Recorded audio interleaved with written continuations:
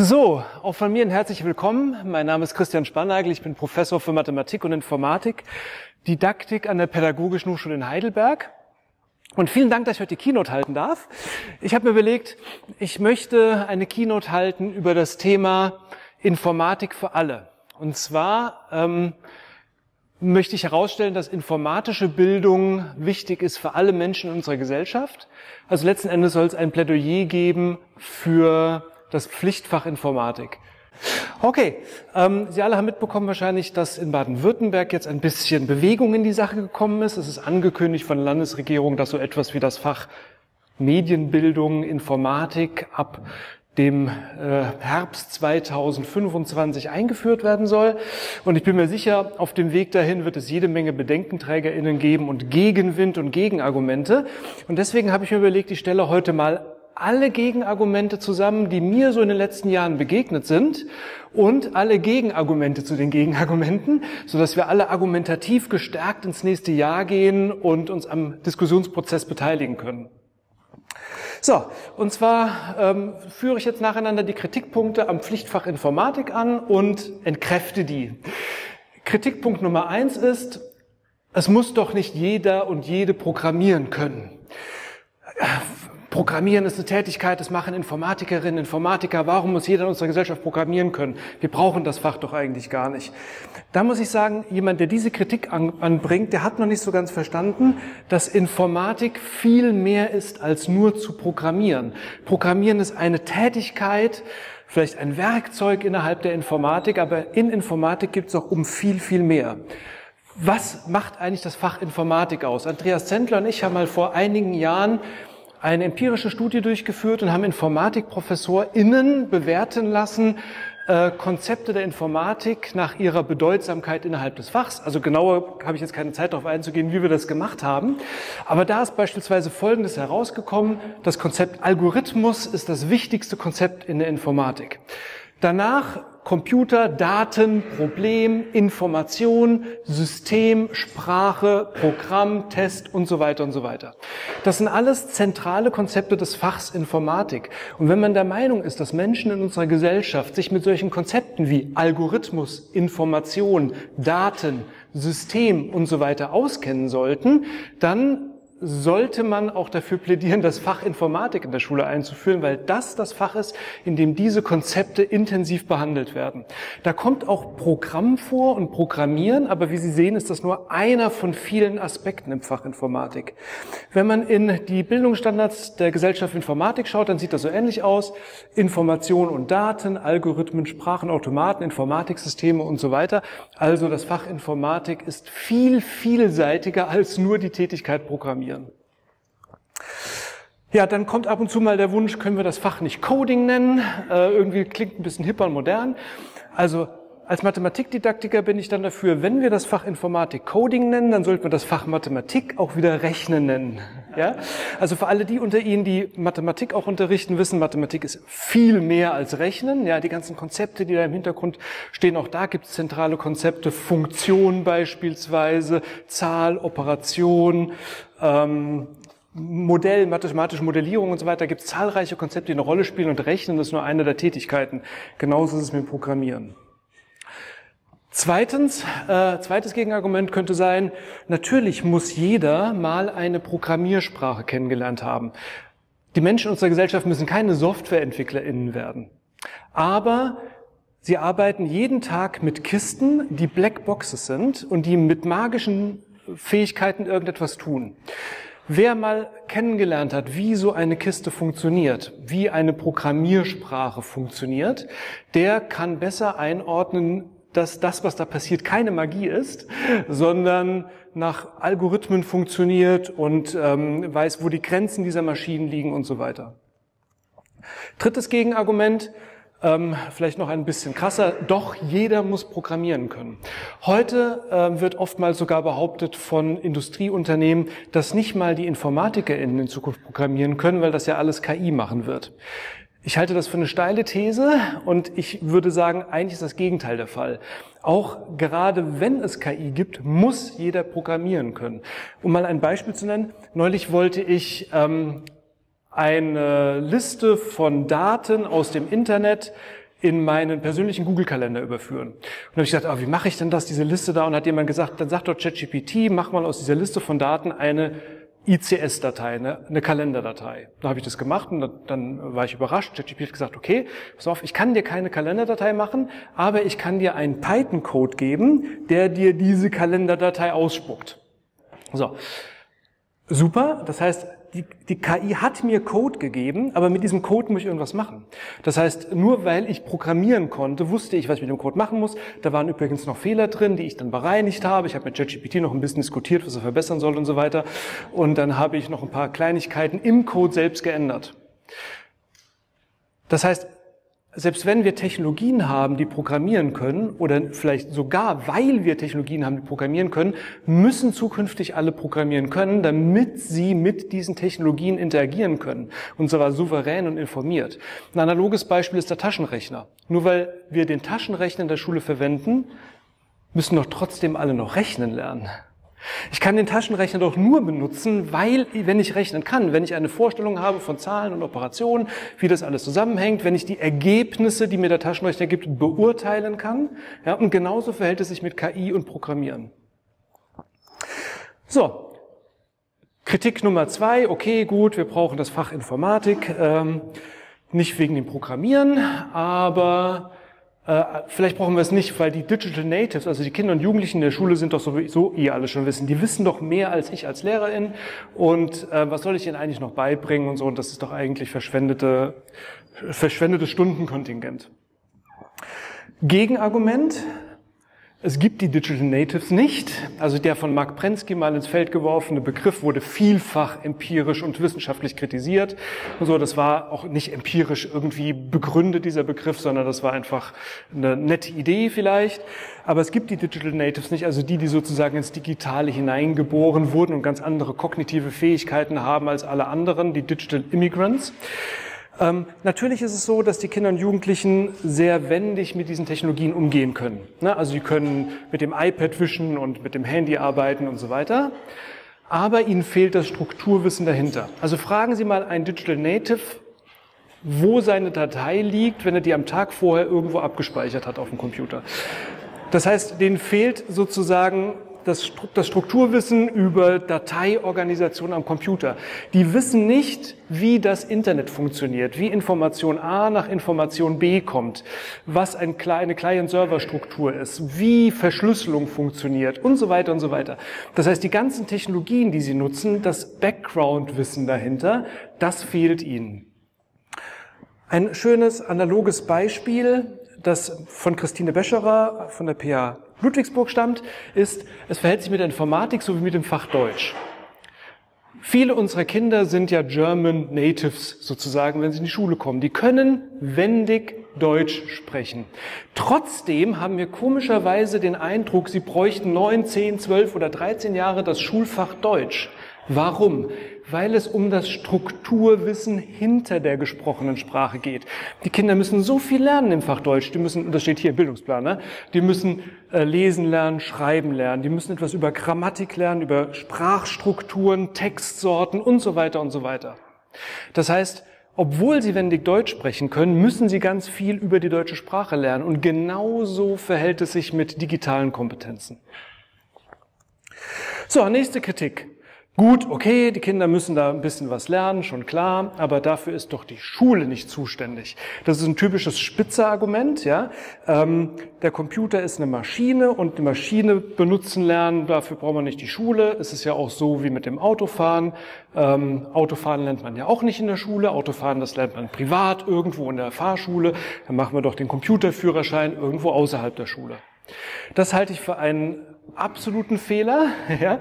Die Schule ist genau dafür zuständig. Warum? Reaktion Nummer eins, informatische Bildung ist Teil der Allgemeinbildung. Und dafür sind allgemeinbildende Schulen nun mal zuständig. Warum ist das so? Wir leben in einer zunehmend von Digitalisierung geprägten Welt. Überall um uns herum wirken Algorithmen, überall wirken Informatiksysteme. In zunehmendem Maße. Das bedeutet, dass zunehmend auch die Gefahr besteht, dass diejenigen, die wissen, wie sie die Algorithmen für ihre eigenen Zwecke einsetzen, das auch tun. Algorithmen werden und sind Machtinstrumente der Industrieunternehmen, von politischen Parteien und so weiter gegenüber der Allgemeinheit. Das heißt, das ist eigentlich eine große Gefahr für die Selbstbestimmung der Menschen unserer Gesellschaft und auch letzten Endes für eine freiheitliche Demokratie. Dem kann eine Gesellschaft nur eins gegenüberstellen, nämlich den informatisch gebildeten Bürger und die informatisch gebildete Bürgerin, die informiert und souverän Bescheid wissen, wie sie mit diesen Systemen umgehen, was die Konzepte dahinter sind und dann auch entsprechend Entscheidungen treffen können. So, und der einzige Ort, an dem eine Gesellschaft das systematisch gewährleisten kann, dass alle Menschen diese Bildungselemente erhalten, ist die Schule. Das kann man nicht auf die Eltern oder auf den Nachmittag abschieben. Ja? Ähm, um das Beispiel von Spitzer nochmal aufzugreifen, ein ähm, souveräner, informierter, gebildeter äh, Mensch in unserer Gesellschaft muss nicht unbedingt in der Lage sein, Auto zu fahren. Aber er muss in der Lage sein, mit Informatiksystemen umgehen zu können und die Wirkungsmechanismen hinter Informatiksystemen zu verstehen. Genau, wir müssen also die Menschen empowern. Darum geht's. Ja, es geht um das Empowern der Menschen unserer Gesellschaft und dafür ist informatische Bildung heute wichtiger denn je.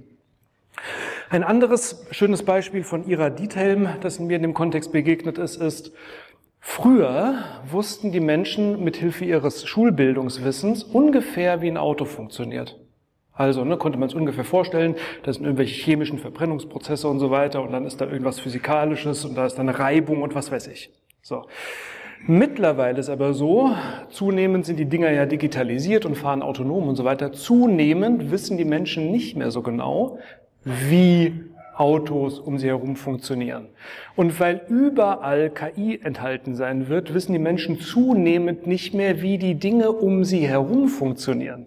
Das kann doch nicht sein. Wir brauchen Menschen unserer Gesellschaft, die ungefähr wissen, wie die Welt um sie herum funktioniert. Und deswegen brauchen wir informatische Bildung.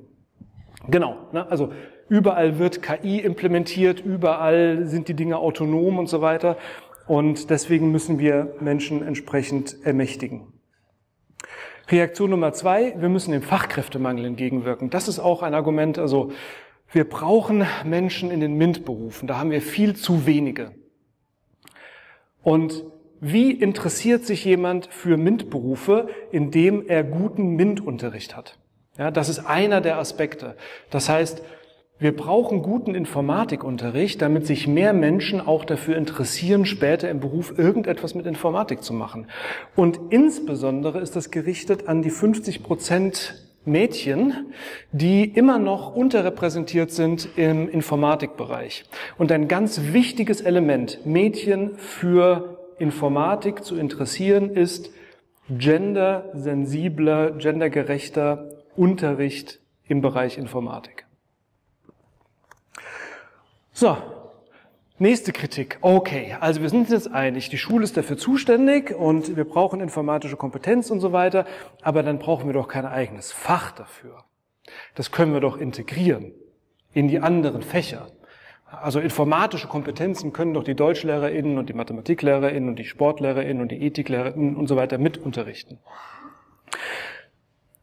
Ich weiß nicht, ähm, wie lange Sie schon im Schuldienst sind, aber vor einiger Zeit gab es mal das Fach ITG. Es war kein Fach, sondern es war in die Fächer integriert. Und mein damaliger Chef, Herbert Löte, hat immer spaßeshalber gesagt, die haben ITG wegintegriert. Weil man versucht, mit möglichst wenigen Ressourcen etwas umzusetzen. Das können doch alle mitmachen. So, das heißt, in den normalen Unterrichtsfächer kommt immer mehr dazu und jetzt soll da auch noch informatische Bildung mitgemacht werden von allen LehrerInnen, die sowieso schon da sind. Und was passiert? Es tröpfelt irgendwo bildungsplanmäßig in den Unterricht rein und verschwindet dann, weil man dafür keine Zeit hat und man sowieso viele andere Dinge machen muss und so weiter. Man muss, wenn man das Fach Informatik ernst nimmt und informatische Bildung ernst nimmt, muss man das Fach in der Schule einführen wegintegrieren, habe ich gesagt, genau. Ähm, warum, muss man, warum brauchen wir das Fach? Insbesondere brauchen wir das Fach, weil wir LehrerInnen brauchen, die ExpertInnen im Bereich Informatik sind und diese Expertise in die Schulen tragen. Wir würden ja auch nicht sagen, Mathematik kommt überall vor, also können alle anderen LehrerInnen Mathematik mit unterrichten. Die LehrerInnen haben doch gar nicht die fachlichen und fachdidaktischen Kompetenzen in dem Fach. Genauso ist es bei der Informatik. Wir brauchen InformatiklehrerInnen, die entsprechend ausgebildet sind, um dieses Fach in der Schule zu repräsentieren, entsprechenden Unterricht zu halten und auch in der Lage sind, sich über 40 Jahre ihres Berufslebens selbstständig weiterzubilden in dem Bereich. Informatik ist doch etwas, das wird sich ständig verändern. Ich weiß überhaupt nicht, wie das in zehn Jahren noch aussieht, geschweige denn in 40 Jahren. Das heißt, wir brauchen LehrerInnen, die in der Lage sind, da up-to-date zu bleiben und als MultiplikatorInnen für die anderen LehrerInnen in der Schule auch zu dienen. Also wir brauchen informatische Expertise im Kollegium. Das heißt, wir brauchen mehr InformatiklehrerInnen an den Schulen, damit sie auch im Kollegium diese Expertise vertreten können. Also wenn man das Fach Informatik ernst nimmt, informatische Bildung, dann muss man dem einen Ort geben an der Schule und die einzige Möglichkeit ist das Fach Informatik. Ja, äh, weitere Kritik, ja okay, dann machen wir halt ein Fach, aber dann nennen wir es nicht Informatik, sondern da geht es ja auch irgendwie um Medien und so, dann machen wir doch das Fach, nennen wir dann Medien oder Medienbildung oder digitale Bildung. Neulich ist mir mal der Vorschlag begegnet, wir könnten das Fach Medienpädagogik nennen. Da habe ich gedacht, was ist das denn für ein Quatsch? Wir wollen die Schülerinnen doch nicht zu Medienpädagogen ausbilden. Ja, aber da kommen irgendwie alle möglichen Fachbezeichnungen, insbesondere digitale Bildung ist momentan sehr stark im Kommen. Man könnte das Fach ja so nennen. Gegenargument, Schulfachbezeichnungen beziehen sich in der Regel auf Wissenschaften. In unserer Gesellschaft ist es so, dass neues Wissen und Wissen insbesondere durch Wissenschaften generiert wird. Und, wie Sie alle wissen, ist es etwas, was zunehmend in unserer Gesellschaft nicht mehr als solches wahrgenommen und geschätzt wird. Das heißt, wir sollten doch versuchen, die Wissenschaft und die Wissenschaften insbesondere auch in der Schule prominent zu platzieren. Und die Wissenschaft, die die Referenzwissenschaft für Digitalisierung ist, ist die Informatik. Also lassen Sie uns doch bitte das Fach Informatik nennen, genauso wie wir kein Problem damit haben, das Fach Physik und Chemie und Mathematik und so weiter zu haben. Warum sollen wir das Fach jetzt auf einmal digitale Bildung nennen? Ähm, ein schönes Bild, ein altes Bild von Norbert Breuer, das mir immer noch sehr gut gefällt, ist nochmal deutlich zu machen, warum das Fach Informatik auch im Fächerkanon wirklich eine gute Platzierung und eine, entsprechende Rolle haben sollte. Es geht um verschiedene Konzepte. Stoff, Stoffliches wird bislang von Chemie im äh, Unterricht vertreten, also Lehre von Stoff und deren Wandlung. Energie auf der rechten Seite von der Physik, so als zentrales Konzept. Und Information, dafür ist die Informatik zuständig. Ja, das hat bislang gefehlt, aber dieses, diese Lücke wird sozusagen von der Informatik gefüllt und dann sieht man hier unten links die Biologie als Lehre vom Zusammenwirken von Stoff, Energie und Information in lebenden Systemen und das Fach Technik als Lehre von Zusammenwirken von Stoff, Energie und Information in unbelebten Systemen. Was hier noch fehlt, ist die Mathematik, die für all diese Wissenschaften die entsprechenden Werkzeuge und Denkmodelle zur Verfügung stellt. Und, aber hier sieht man schön, wie sich Informatik eigentlich ganz natürlich einreiht in das Zusammenspiel von MINT-Fächern. Übrigens hat auch keiner ein Problem damit, von MINT-Fächern zu sprechen. Da steckt auch I wie Informatik drin. Aber man hat dann manchmal ein Problem, das Fach auch tatsächlich Informatik zu benennen. Ja, außerdem ist natürlich Medienbildung wichtig, also bitte nicht falsch verstehen, aber Medienbildung, das ist eine Querschnittsaufgabe. In allen Unterrichtsfächern werden Medien eingesetzt als Unterrichtsmedien. In allen Unterrichtsfächern geht es auch darum, zu lernen, wie man mit diesen Medien gescheit umgeht, und zwar sowohl mit analogen als auch mit digitalen Medien. Das heißt, Medienbildung ist ja auch bereits im Bildungsplan als Querschnittsaufgabe verankert, in vielen Bildungsplänen in Deutschland. Also lassen Sie uns das doch bitte genauso machen. Medienbildung ist eine Querschnittsaufgabe, Aufgabe in allen Fächern. Es gibt aber trotzdem das Fach Informatik, in dem es um informatische Bildung geht. Und die SchülerInnen lernen durchaus natürlich auch bestimmte Medienaspekte im Fach Informatik, die dann in anderen Fächern genutzt werden können. Das heißt, die Deutschlehrerin, der Deutschlehrer muss dann vielleicht nicht mehr die, den Umgang mit Textverarbeitung in dieser umfassenden Form vermitteln, weil es bereits im Kontext von Informatikunterricht auch gemacht wurde oder Tabellenkalkulation im Mathematikunterricht und so weiter. Das heißt, hier kann das Fach Informatik auch eine zentrale Säule sein, sozusagen, von der aus die anderen Fächer sich bedienen können. Genauso wie man in Physik erwartet, dass SchülerInnen in Mathematik schon bestimmte Dinge gemacht haben. Ja? So, jetzt kam die Ankündigung der Landesregierung Baden-Württemberg, die ich erstmal total gut finde. Endlich bewegt sich da mal was. Also seit Jahrzehnten argumentiert die Fachdidaktik Informatik und viele InformatiklerInnen, wir brauchen das Fach und das ist aber nicht so richtig in die Gänge gekommen. Und jetzt passiert endlich was. Ab dem Herbst 2025 ist eine Änderung des Schulgesetzes in Planung und es ist angedacht, dort auch pro Schuljahr, wenn ich es richtig verstanden habe und richtig erinnere, in der Mittelstufe, so etwas wie das Fach Medienbildung Schrägstrich Informatik einzuführen. Okay. Appell. Lassen Sie das Fach bitte Informatik nennen und nicht Medienbildung Schrägstrich Informatik.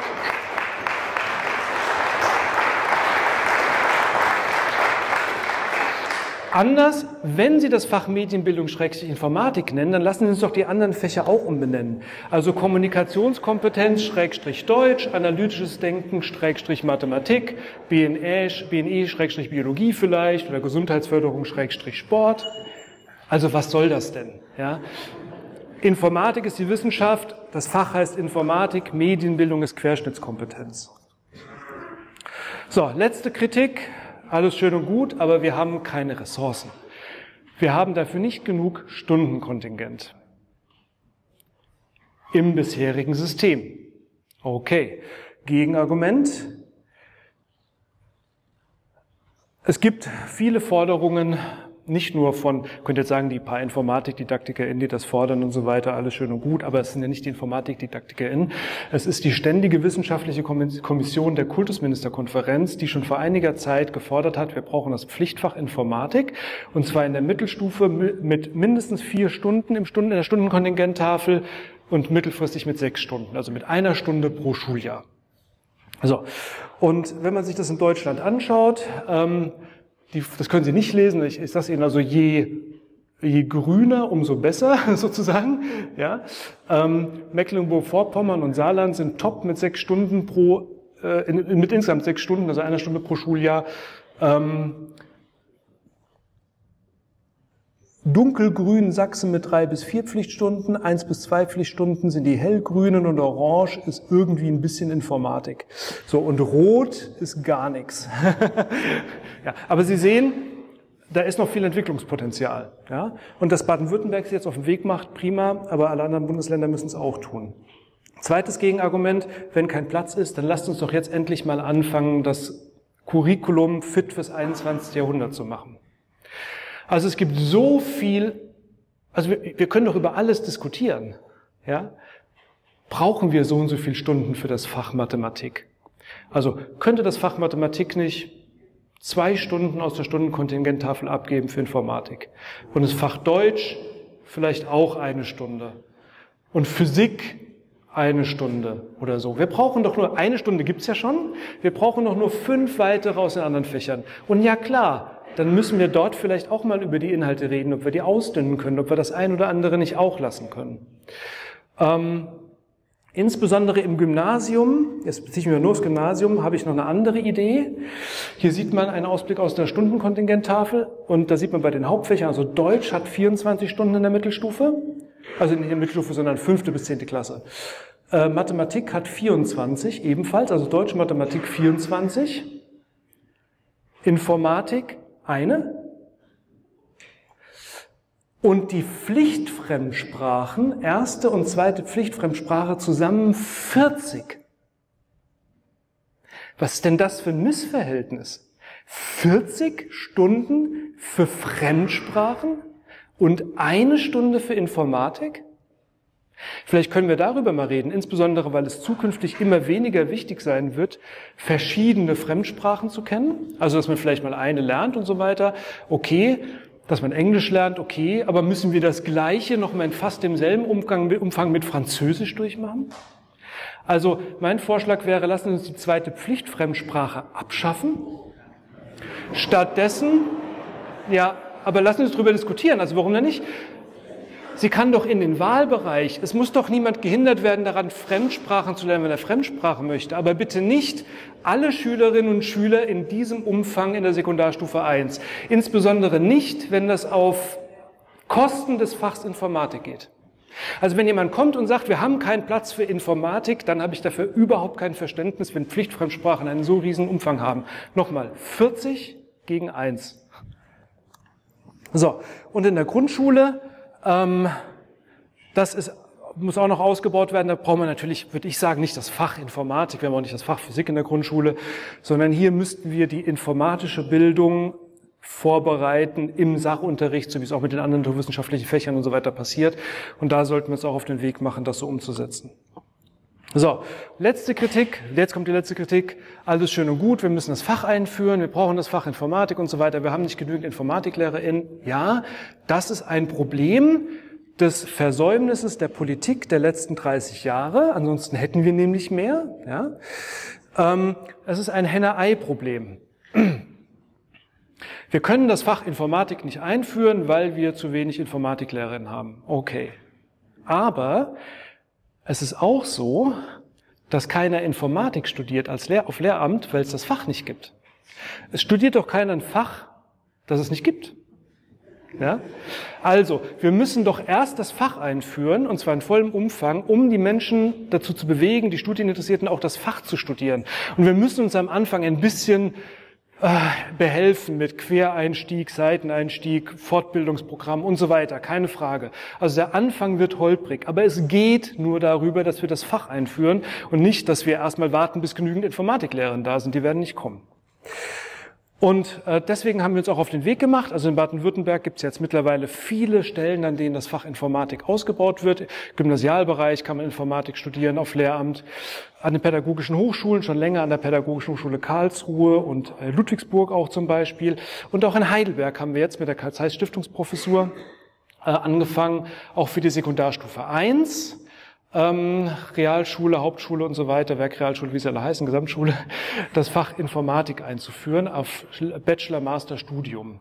Und gemeinsam im Kontext der HSE mit Universität und ähm, pädagogischer Hochschule bauen wir jetzt hier systematisch das Lehramt Informatik auf.